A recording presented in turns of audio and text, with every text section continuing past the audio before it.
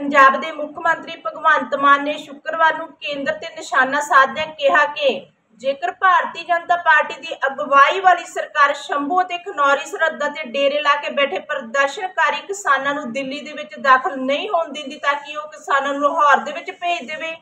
ਸੰਯੁਕਤ ਕਿਸਾਨ ਮੋਰਚਾ ਅਤੇ ਕਿਸਾਨ ਮਜ਼ਦੂਰ ਮੋਰਚਾ ਦੀ ਅਗਵਾਈ ਹੇਠ ਪੰਜਾਬ ਦੇ ਕਿਸਾਨਾਂ ਨੇ ਫਸਲਾਂ ਦੇ ਘੱਟੋ-ਘੱਟ ਸਮਰਥਨ ਮੁੱਲ ਤੇ ਕਾਨੂੰਨੀ ਗਾਰੰਟੀ ਸਮੇਤ ਆਪਣੀਆਂ ਮੰਗਾਂ ਦੇ ਲਈ ਸਰਕਾਰ ਤੇ ਦਬਾਅ ਬਣਾਉਣ ਲਈ 13 ਫਰਵਰੀ ਨੂੰ ਦਿੱਲੀ ਚਲੋ ਮਾਰਚ ਸ਼ੁਰੂ ਕੀਤਾ ਸੀ।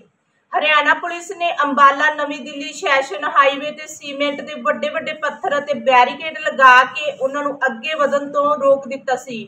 ਉਦੋਂ ਤੋਂ ਹੀ ਕਿਸਾਨਾਂ ਨੇ ਸ਼ੰਭੂ ਅਤੇ ਖਨੌਰੀ ਸਰਹੱਦ ਤੇ ਡੇਰੇ ਲਾਏ ਹੋਏ ਹਨ। ਮਾਨ ਨੇ ਹਰਿਆਣਾ ਦੇ ਵਿੱਚ ਇੱਕ ਜਨਤਕ ਮੀਟਿੰਗ ਨੂੰ ਸੰਬੋਧਨ ਕਰਦਿਆਂ ਕਿਹਾ ਕਿ ਖਨੌਰੀ ਅਤੇ ਸ਼ੰਭੂ ਵਿੱਚ ਸਰਹੱਦ ਦੇ ਲੋਹੇ ਦੀਆਂ ਕਿੱਲਾਂ ਤੇ ਬੈਰੀਅਰ ਲਗਾ ਕੇ ਰੁਕਾਵਟਾਂ ਖੜੀਆਂ ਕੀਤੀਆਂ ਗਈਆਂ ਹਨ ਤਾਂ ਜੋ ਕਿਸਾਨ ਦਿੱਲੀ ਦੇ ਵਿੱਚ ਦਾਖਲ ਨਾ ਹੋ ਸਕਣ। ਸੱਤਾ ਦਾ ਕੇਂਦਰ ਦਿੱਲੀ ਹੈ, ਇਸ ਲਈ ਉਹ ਉੱਥੇ ਜਾਣਗੇ। ਜੇ ਉਹ ਦਿੱਲੀ ਨਹੀਂ ਜਾਵੇਗਾ ਤਾਂ ਕਿ ਮੈਂ ਉਹਨਾਂ ਨੂੰ ਲਾਹੌਰ ਭੇਜਾਂ? ਪੰਜਾਬ ਦੇ ਮੁੱਖ ਮੰਤਰੀ ਨੇ ਕਿਹਾ ਕਿ 4 ਸਾਲ ਪਹਿਲਾਂ ਵੀ ਕਿਸਾਨਾਂ ਨੂੰ ਦਿੱਲੀ ਦੇ ਵਿੱਚ ਦਾਖਲ ਹੋਣ ਤੋਂ ਰੋਕਿਆ ਗਿਆ ਸੀ। ਉਹਨਾਂ ਨੇ ਕਿਹਾ ਕਿ ਖੇਤੀਬਾੜੀ ਕਾਨੂੰਨਾਂ ਦੇ ਖਿਲਾਫ ਕਿਸਾਨਾਂ ਦੇ ਵਿਰੋਧ ਪ੍ਰਦਰਸ਼ਨ ਦੇ ਦੌਰਾਨ 726 ਕਿਸਾਨ ਮਾਰੇ ਗਏ ਸਨ। ਹਿਸਾਰ ਦੇ ਬਰਵਾਲਾ 'ਚ ਆਯੋਜਿਤ ਇੱਕ ਪ੍ਰੋਗਰਾਮ 'ਚ ਮਾਨ ਨੇ ਕਿਹਾ ਕਿ ਹਰਿਆਣਾ ਦੇ ਲੋਕਾਂ ਨੇ ਵੱਖ-ਵੱਖ ਪਾਰਟੀਆਂ ਨੂੰ ਮੌਕਾ ਦਿੱਤਾ, ਪਰ ਇਹਨਾਂ ਸਾਰਿਆਂ ਨੇ ਸੂਬੇ ਨੂੰ ਲੁੱਟਿਆ।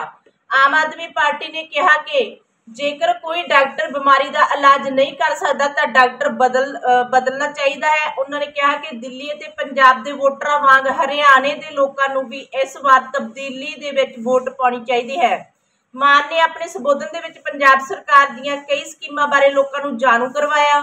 ਕੇਂਦਰ ਦੀ ਭਾਜਪਾ ਸਰਕਾਰ ਤੇ ਹਮਲਾ ਕਰਦਿਆਂ ਮਾਨ ਨੇ ਕਿਹਾ ਕਿ ਉਹ ਲੋਕ ਸਭਾ ਦੇ ਦੌਰਾਨ ਭਾਜਪਾ ਨੇ 400 ਦਾ ਅੰਕੜਾ ਪਾਰ ਕਰਨ ਦੀ ਗੱਲ ਕੀਤੀ ਸੀ।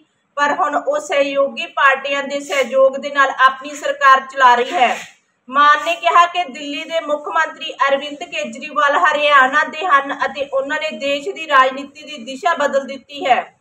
ਉਹਨਾਂ ਨੇ ਕਿਹਾ ਕਿ ਜੇਕਰ ਭਾਜਪਾ ਨੂੰ ਭਾਰੀ ਬਹੁਮਤ ਮਿਲਦਾ ਹੈ ਤਾਂ ਉਹ ਸੰਵਿਧਾਨ ਨੂੰ ਬਦਲ ਦੇਵੇਗੀ। ਸ਼ੁਕਰ ਹੈ ਕਿ ਉਹਨਾਂ ਨੂੰ ਬਹੁਮਤ ਨਹੀਂ ਮਿਲਿਆ, ਨਹੀਂ ਤਾਂ ਉਹ ਸੰਵਿਧਾਨ ਨੂੰ ਹੀ ਬਦਲ ਦਿੰਦੇ।